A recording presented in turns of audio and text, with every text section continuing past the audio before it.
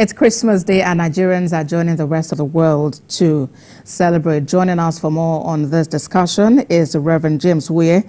He's Executive Director, Interfaith Mediation Center. He joins us from Kaduna. Thank you for joining us, Reverend Wuye. And uh, Merry Christmas to you and yours. Uh, well, this, this day is quite significant, quite important. But then help us to understand what the significance really is for those who are celebrating today? Uh, Merry Christmas to all the viewers and listeners all over the world that are onto this great television station. Um, from this side, um, the significance of Christmas um, is uh, a day where mankind was given a generous gift and an everlasting gift.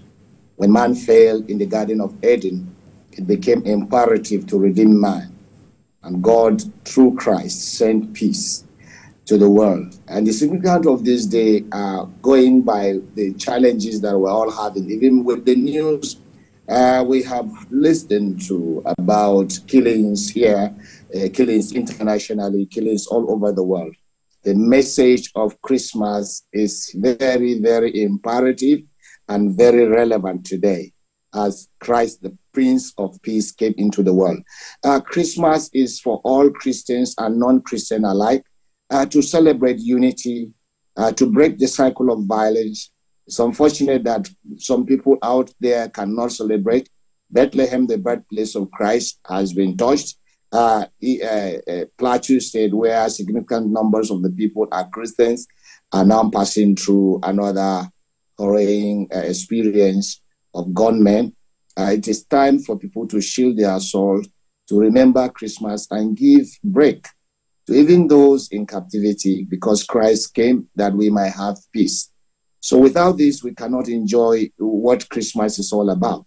I remember, uh, I do want to refer us to the Bible in Hebrew chapter 12, verse 14 and 15 that says, uh, follow peace with all men and righteousness, without which no man can see the Lord. And do not allow the root of bitterness in you grow to the effects that it pollutes others and cause others to fall short of the glory of God. Mm. I think Nigerians should use this period to forgive one another, to extend the olive branch to one another, and also reach out to those who do not have anything because that is kind of Christmas. Indeed, Reverend. Indeed. You, you have spoken about the fact that some people unfortunately cannot celebrate as a result of violence. And uh, you have also spoken about the need to, you know, extend the olive branch. Uh, but then it, it, just does appear that there's some people who are bent on fomenting trouble. I mean, whether it's, it's a day for celebration or not, how do we achieve that much needed peace? I think um, needed peace can be achieved when uh, religious leaders are pragmatic at the very high level, and the medium level, and the low level. Let people of different faiths stand shoulder by shoulder to condemn acts that are not good. Let them shoulder by shoulder do the things that ought to be done, seen together. I remember sometimes back in, in Kaduna before uh, the unfortunate incident that occurred in 2011. Religious leaders were seen going to hotspots, talking to people together. And I expect that to happen. The country needs to reconcile itself. North South dialogue is imperative. Those who do not know even the civil war are fighting and asking for cessation. They don't know what war is all about. Uh, probably uh, for viewers, this is uh, my limb. I lost it in situations that has to do with what we call protecting the church in Kaduna in 1992. But I have forgiven those who have done this to me. So without forgiveness, we can't move forward. Breaking the cycle of violence, competing over who killed the most, will not save this country. It is time for the presidency, it's times at local level, let Nigeria declare a day of forgiveness and reconciliation.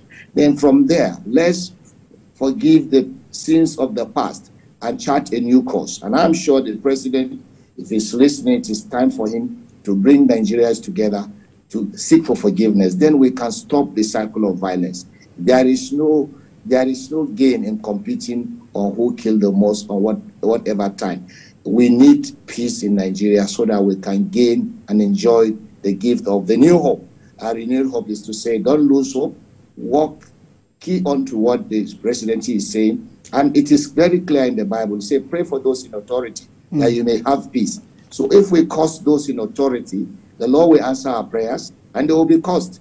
And they will express the attitude of people who are cost. So for me to enjoy this Christmas, let's forgive, even even between spouses. Learn to forgive and share the gift of peace. Don't spread hate because hate begets hate and it escalates, and we don't have any country to go to. Refugee situation in the country, uh, I mean, displaced people in the country, refugee in all over the world, though we know Jesus Christ was a refugee at some point in Egypt. But he was hosted. And let's learn to help those people who are around us who are, cannot enjoy a meal of Christmas. Take it to them. Those right. are in the camp. Let them feel the gift of Christ because that is what Christ will say to you at the end. I was hungry, you fed me, I was naked, you gave me clothes. When I was also a homeless, you visited me. When I was in prison, you do that. So this Absolutely, is Christmas. Reverend. Christmas is about living the life of Christ all over again. Absolutely. And thank you very much for sharing your personal story with us. And it's great to know that you, know, you have actually forgiven those who inflicted this uh, on you. Thank you very much, uh, Reverend James Wuye, Executive Director, Interfaith Mediation Center. And do have yourself a very wonderful Christmas. God bless Nigeria. Peace prevail on earth. God bless you. Thank you.